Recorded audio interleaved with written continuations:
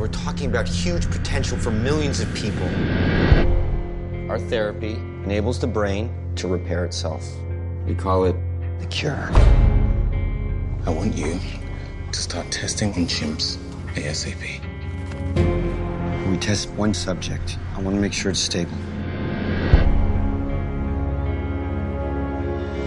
I designed the 112 for repair, but Caesar's gone way beyond that.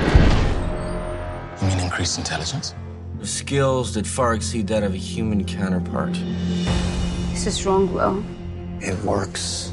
And what about Caesar? Where does he fit in? That chimp's company property.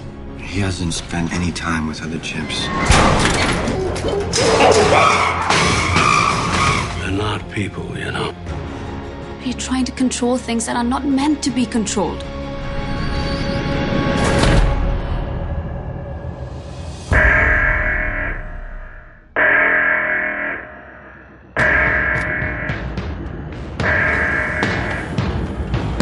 They are contaminated. Put those apes down. You have no idea what you're dealing with.